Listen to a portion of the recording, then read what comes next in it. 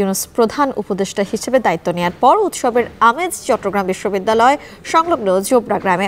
প্রধান উপদেষ্টাকে অভিনন্দন জানাতে অনেকেই ব্যানার ফেস্টন টানিয়েছেন পুরো এলাকা জুড়ে। এ বিষয়ে বিস্তারিত জানাতে জোবরা গ্রাম থেকে আমাদের সঙ্গে যুক্ত হচ্ছেন সহকর্মী শোয়েব রহমান।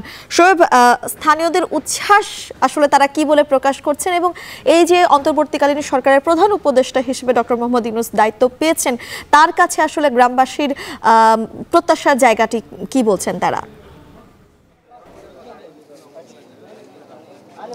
মিম, দারুণ উচ্ছ্বাস। আমরা দেখেছি যে যখন থেকে প্রফেসর ইউনুস অন্তর্বর্তীকালীন সরকারের প্রধান হিসেবে দায়িত্ব নিতে সম্মতি জ্ঞাপন করেছেন, এরপর থেকেই কিন্তু জোবরা গ্রামের বাসিন্দাদের মাঝে এক ধরনের উচ্ছ্বাস বইছে এবং তিনি গতকাল শপথ গ্রহণ করার পর থেকে আমরা দেখেছি আজকে চট্টগ্রামের এই জোবরা গ্রামের বিভিন্ন জায়গাতে অনেকেই ব্যানার টাঙিয়েছেন, তাকে অভিনন্দন জানিয়েছেন এবং আজকে জুমার দিন এবং আমরা দেখেছি নামাজের পরেও কিন্তু অনেকের মধ্যে এই যে প্রফেসর ডক্টর ইউনুস যিনি অন্তর্বর্তীকালীন সরকারের প্রধান হিসেবে দায়িত্ব গ্রহণ করেছেন। সেই বিষয়গুলো নিয়ে আলোচনা হচ্ছিল এবং তারা বলছিলেন যে চট্টগ্রাম থেকে এবারই প্রথম চট্টগ্রামের কোনো ব্যক্তি যিনি সরকার প্রধান হিসেবে দায়িত্ব গ্রহণ করেছেন এবং যে কারণে স্বাভাবিকভাবে চট্টগ্রামের যারা বাসিন্দারা রয়েছেন, তাদের কাছে প্রত্যাশার পারদ অনেকটাই বেশি এবং একই সাথে যেহেতু তিনি চট্টগ্রাম বিশ্ববিদ্যালয়ের প্রফেসর ছিলেন এবং সেই সাথে এই জোবরা গ্রাম থেকেই তিনি তিনি- তার যেই যেই ক্ষুদ্র ঋণ কার্যক্রম, সেই ক্ষুদ্র ঋণ কার্যক্রম এখান থেকে শুরু করেছেন এবং আপনি যে দেখতে পাচ্ছেন যে তেভাগা খামার, অর্থাৎ এই তেভাগা খামারের মাধ্যমে কিন্তু যারা দরিদ্র কৃষক রয়েছিলেন, তাদেরকে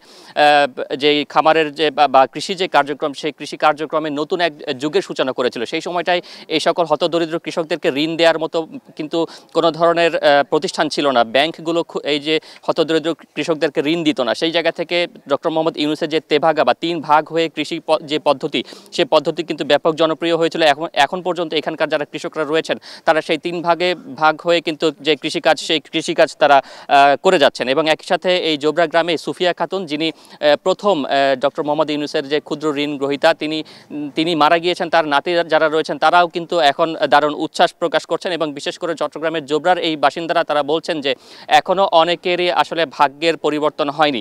একজন চট্টগ্রামের সন্তান হিসেবে এবং যেহেতু এই জোবরা থেকে প্রফেসর ডক্টর মোহাম্মদের কার্যক্রমের শুরু এবং এখানের এই কার্যক্রম দিয়ে তিনি নোবেল পুরস্কার পেয়েছেন, তাই তারা প্রত্যাশা করছেন, বিশেষ করে এই জোবরা গ্রামের বাসিন্দারা প্রত্যাশা করছেন যে এবার তাদের ভাগ্যের পরিবর্তন হবে বা এই গ্রামে এখনও যে উন্নয়নের ছোঁয়া লাগেনি, সেটি কিছুটা পরিবর্তন হবে বলে তার প্রত্যাশা করছেন মিম।